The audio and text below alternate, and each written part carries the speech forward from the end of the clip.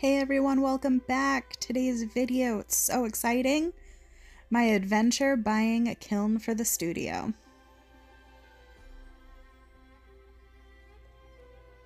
Had to go on a road trip to a local pottery shop. Needed to consult with the experts on which kiln was right for me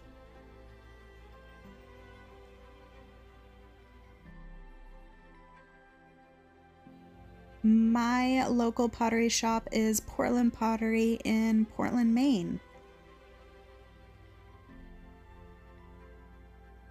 They gave me all the kiln specifications to make sure that I was getting the correct one for my house, my studio, and what I do. I ended up going with the Skutt 1027, which is a very standard, very common kiln for a lot of people. As you guys know, I'm shopping for a ceramic kiln and these are electric. With kilns, they can be controlled a few different ways and that needs to be considered when purchasing. This is a manual setup that requires a kiln sitter. They also have digital. The digital setup, like shown here, is very popular. It is easy to use once you get the hang of it, and setting the modes is like setting a microwave. They did come out with new technology, and you can bring your kiln to the future with the touch screen. This does have Wi Fi, and you can check in on your kiln with your cell phone. It is pretty cool. And this is what I decided to go with. I figure buying a brand new kiln, might as well get the top of the line new technology to go with it. In my opinion, Skutt has the absolute best website for their products. Hands down, best website, best customer service, most informative, um, they're constantly posting videos, how to, how to improve your kiln, um, and just maintenance videos as well.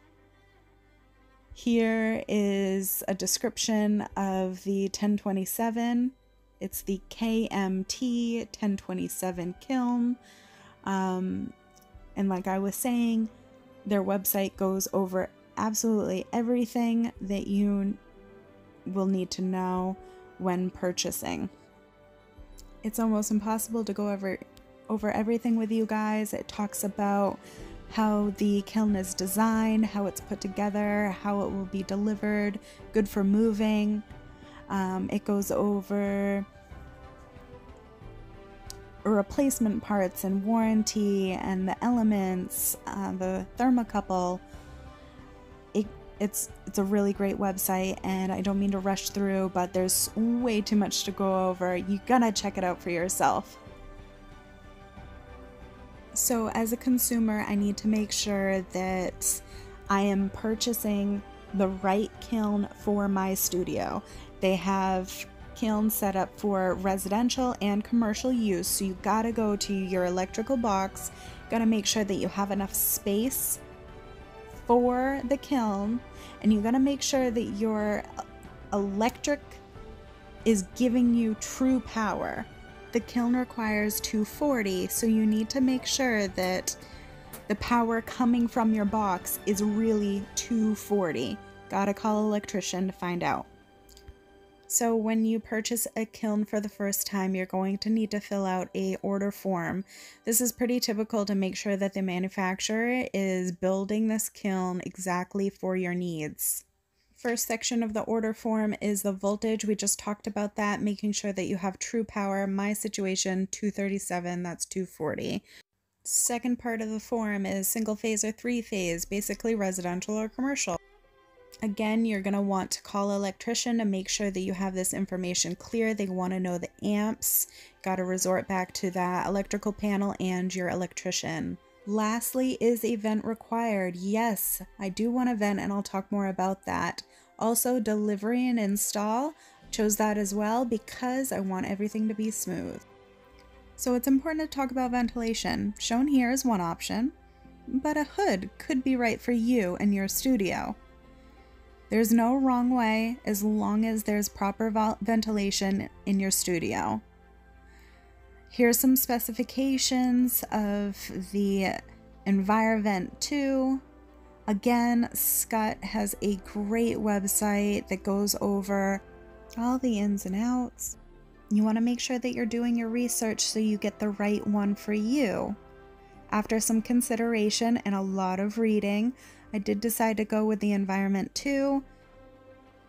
I think it's right for my studio, and I'm really excited to get it installed. Now it's back to Portland Pottery to submit the order form and make the purchase of this kiln. Merry Christmas and Happy Holidays to me. Thank you so much to my wonderful partner for making this happen and supporting me. Just when I was so excited and on cloud nine, the world had a pandemic. COVID 19 struck Maine, and Governor Mills shut down the state to all non essential businesses. The world got sick, schools closed, and kids stayed home. It was a really devastating time, but things turned up in May. The end of May, my kiln was finally delivered, and here it is in my studio.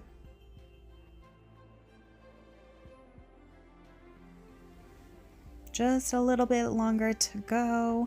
The EcoVent 2 is installed in the bottom of the kiln. This is very similar to a dryer vent. However, in my situation, I am having it exit through a basement window, so I needed to convert that over and close it off. I have some pressure treated lumber that I just spray painted.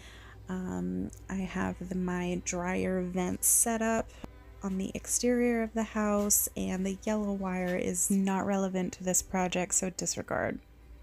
Here it is. Here's the new kiln. Thanks everybody for watching. I'm to make sure that I list all of the websites for Portland Pottery, for Skutt's Kilns, and all of their other accessories, the EcoVent 2, and everything else that I listed and went over today. I want to make sure that you guys have access to that, so stay tuned.